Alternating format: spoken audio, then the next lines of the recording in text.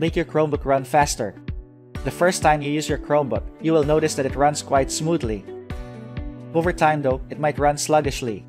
This is usually due to several factors that are attributed with general use. The good thing is that with this device, it's quite easy to make it run the way it used to. Here's what you need to do. Update your Chromebook software. The first thing you will want to do in this case is to make sure that the device is running on the latest Chrome OS version. Click the status area. This is located on the lower right side of the home screen. Click the settings icon. This uses the icon of a gear and is found at the top part of the status menu. Click about Chrome OS. This is located on the bottom of the left pane of the settings window. Click the check for updates button. If any update is available, it will be automatically downloaded and installed. With your device now running on the latest update, try to check if it works smoothly.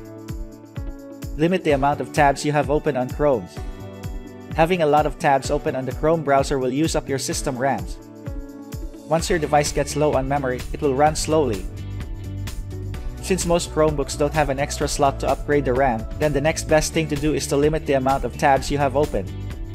You can start with 4 to 5 tabs open and increase this number if the device does not slow down.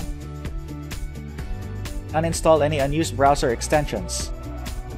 If you have browser extensions enabled, but are not using them then consider disabling or uninstalling these as they are using system resources. You can check your browser extensions by clicking on Menu, More Tools, then Extensions. From here, you can determine which extensions you want enabled. Perform a power wash on your Chromebook to speed it up. As a last resort, you can perform a power wash. This is basically a factory reset that erases all your data on the device and reverts it to its condition when it was new. Make sure to back up any locally stored data before performing this action. Click the status area. Click the settings icons. Click on Advanced, located at the bottom of the right page. Click on Reset on the Reset Settings section, found at the bottom of the right page. Click the Restart button to proceed with the factory reset. I hope that this guide has been helpful. Make sure to like, share, subscribe, and hit the notification bell for more videos in the future. Thanks for watching.